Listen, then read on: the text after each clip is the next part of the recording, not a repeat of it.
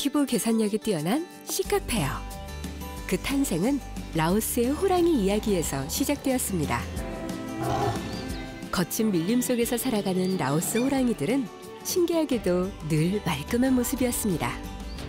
밀림에서 자라는 허브에 몸을 비벼 건강함을 유지했기 때문이죠. 이 허브가 바로 병풀.